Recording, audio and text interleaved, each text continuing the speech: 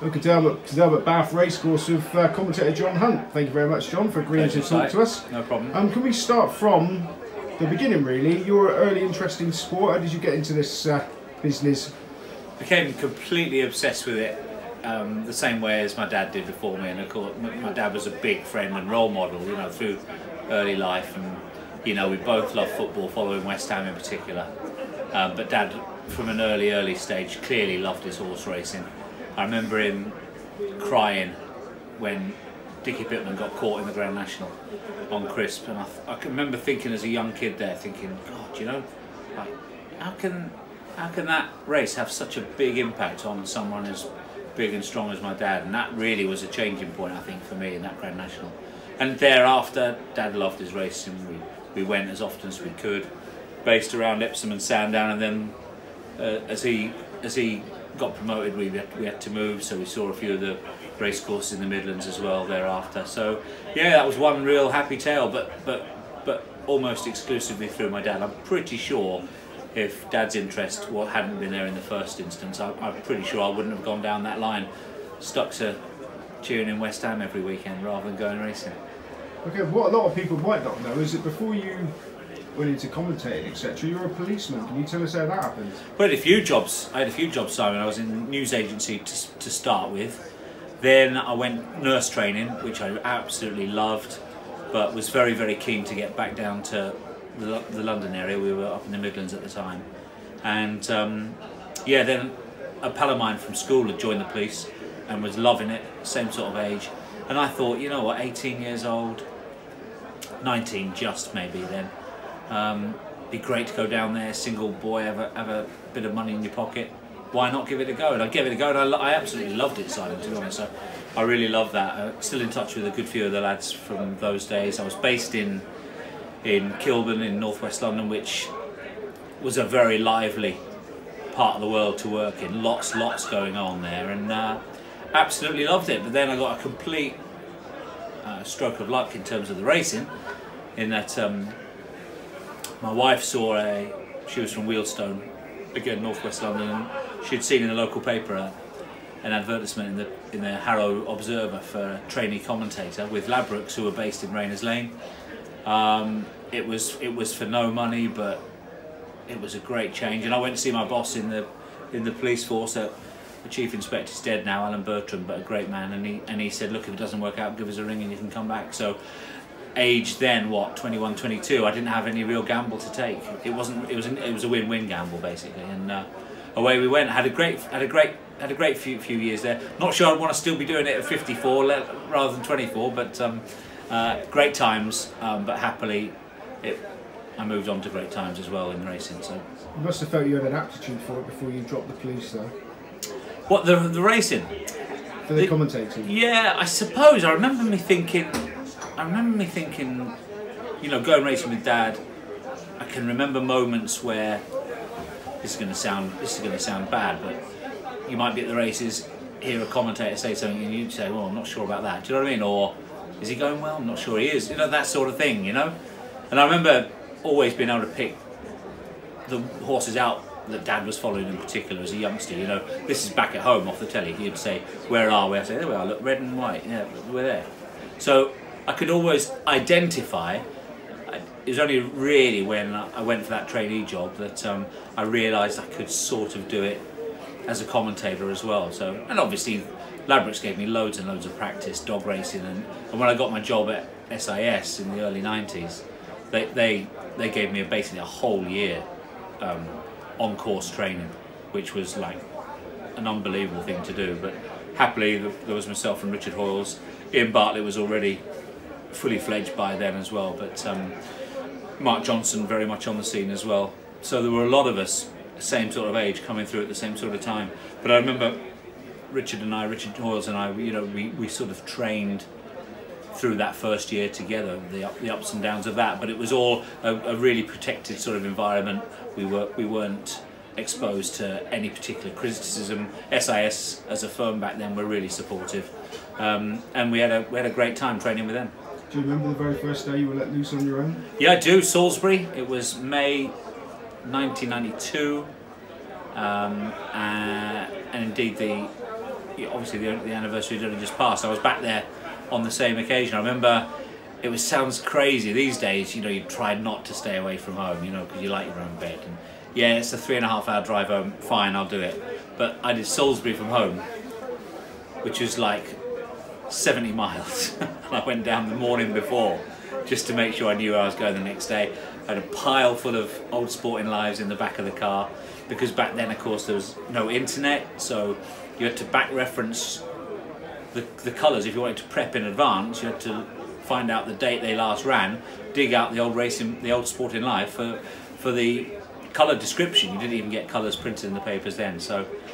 Yeah, I remember ringing my wife saying, I'm here, yeah, yeah, I think I know where the racetrack is, yeah, yeah, and all the rest of it. Sounds crazy now that you would go the morning before uh, the day's racing just to prepare, but that's that's that's what happened back then, back at, back in those days, Salisbury. Willie Carson and a treble, pleased to say, and a lovely horse there, Richard Hannon's called Venture Capitalist, was also a winner there. A lot of people will probably remember him. He was a pretty good horse. So um, yeah, very happy day, good day. So you've done a lot of radio only commentary as well. Is, the skill set different for that?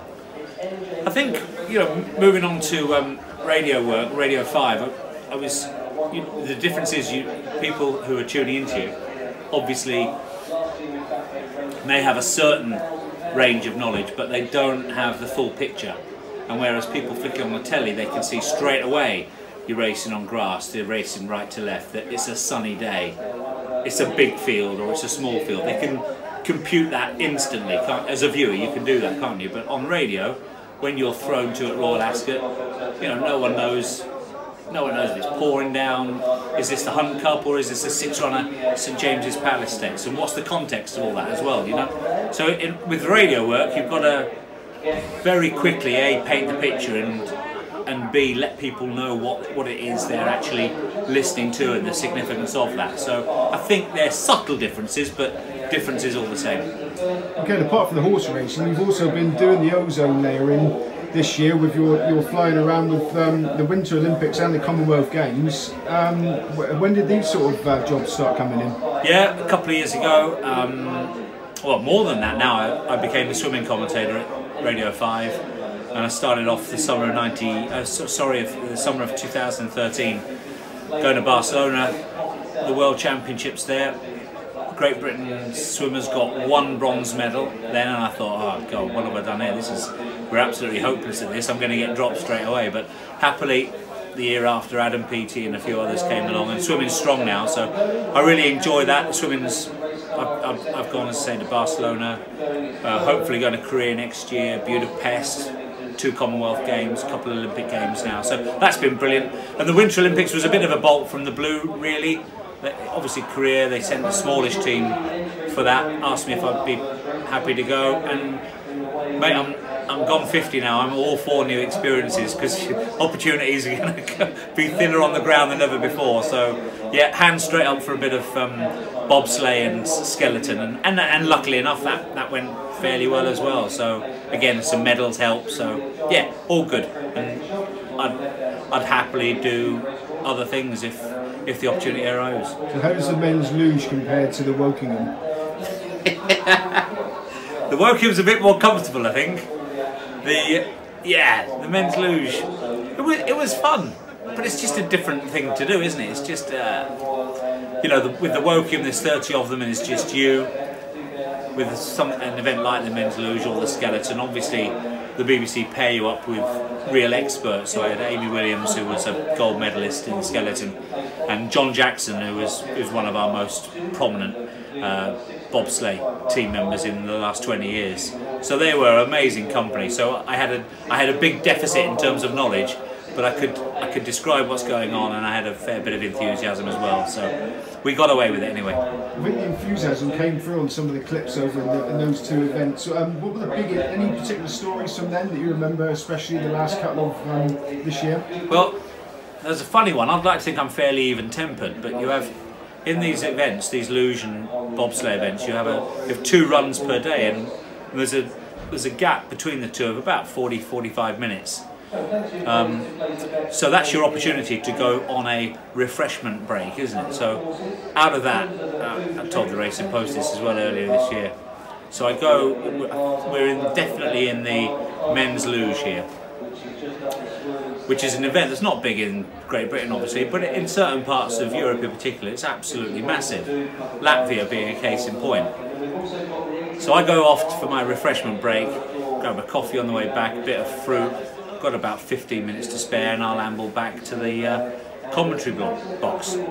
Ambling back, the whole stairway was blocked with what were clearly security guards, and I'm thinking, oh, I thought there was a, I thought there must have been some security alert. So I hung back a bit, and I thought, well, I've only got 10 minutes now, so. I'm, and my commentary box is the other side of these security boys, so I'm going to have to say something.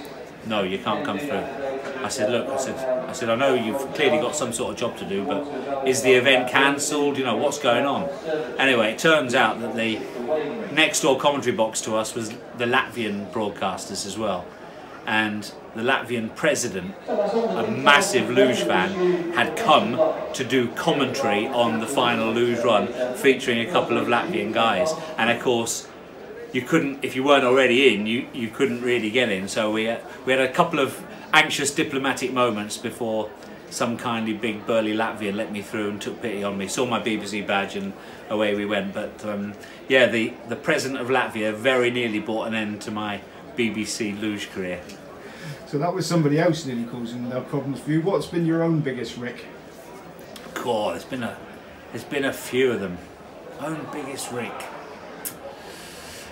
I tell you one which horrified me at the time because I didn't know I'd done it was, um, and in the in the general scheme of things, none of these things really matter. But you know, you want to do your best every time, don't you? But I remember in the uh, Becher Chase, Jonjo O'Neill had a, a, a number of runners, three or four. Carbury Cross was one of them. Um, and early on, you do the Becher Chase as a commentator on your own. Uh, whereas in the national there's three or in certain circumstances four of you doing it. So yeah, um, Jonjo had all these runners, and for some inexplicable reason, this Carbury Cross, whatever it's called, fell at the first. Purple colours. Uh, and for some reason I said Clan Royal's down. Clan Royal obviously in the green and the yellow hoops and for some reason my self-check mechanism just didn't work. So I'd said Clan Royal's fallen, race goes on, Carbury Cross is on the floor, and I no, never at any stage during the race um, am aware that I've called Clan Royal as a faller. So that was a horrible one because that's a pretty big day that was, the Becher Chase day. But the worst one, again back at Aintree, was, do you remember two horses called Djeddah and Paris Pike? They ran in the National and they both basically ran in the same colours, give or take a few little, few little differences here and there, both in black. So I'm, they, they go past me, third fence. I think it was the eight or nine went down at the first, and I've confidently said that that uh, Paris Pike's down at the first. So, so then I'm thinking, good, I think I've, I got six or seven of those eight fallers, That's, I'm pretty pleased with myself there. And meanwhile, the action's gone on to the other commentators around Becher's and Valentines. And when it come back past me on the second circuit, because you can't really hear the commentary either elsewhere of the other lads, and first horse I see coming over the 17th fence away from the stands is you know Paris Pike, and I just, I, my just heart sank. But like I say, Rick's in running betting, I think has accentuated Rick's, hasn't it? You know, every word. Well, people people bet in running, and you know, it's always amazed me, but they hang on to what the commentator said rather than watch it for themselves. So yeah, there's a bit of heat flying around about that, but nothing, nothing too terrible. No, there's, happily there's been no, there's been no Red Rums won the Grand National when Alverton actually won it. There's been none of those moments. We like to be positive here. So the most memorable sport event you've commentated on for all the right reasons. Um, oh God, I've been lucky enough to do so many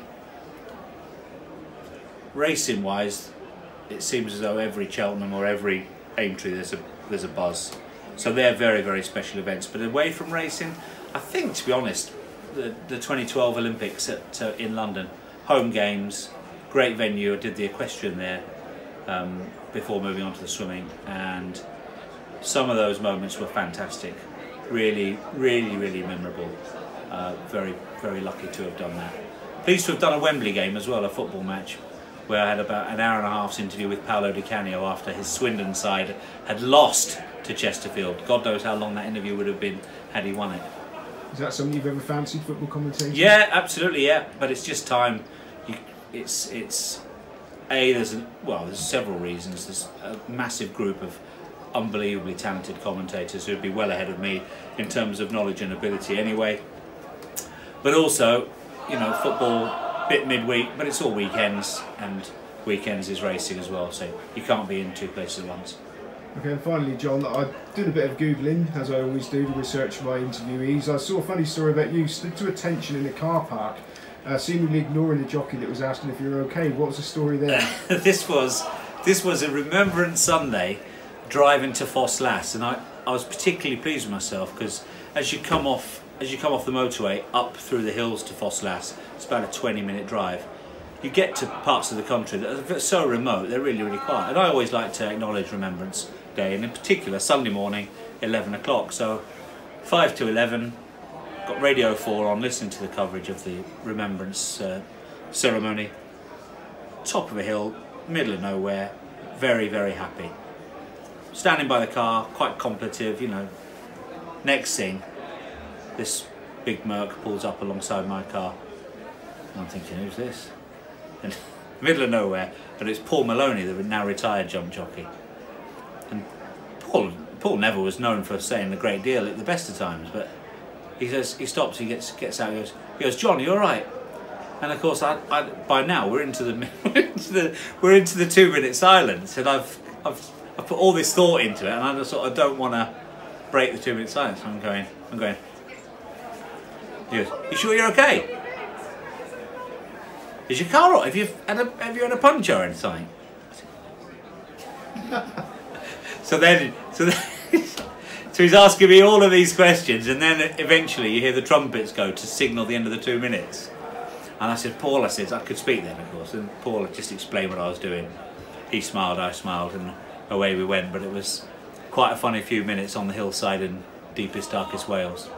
Brilliant story. And just finally, finally, we don't see adverts anymore for trainee racecourse commentators, but if anybody's got the chance, is it a life you'd recommend? Ah, oh, massively. Fantastic fun. I'm amazed there aren't a stack of youngsters wanting to do it because, all right, there's plenty of time away from home, there's lots and lots of travelling, but you meet some amazing people and it's such a buzz to do the job that, yep, anybody out there who even half thinks they might be good at it, should really give it a go. Loads of practice early, go to point to points, go to your local meeting and just have a practice to yourself in, in a quiet corner of the stand somewhere. Um, we need the youngsters coming through, that's for sure. There's too many of us 50 somethings who'll be out in our ear in a few years' time, so big opportunity for youngsters to be commentators. Brilliant. Thank you very much, John. Pleasure.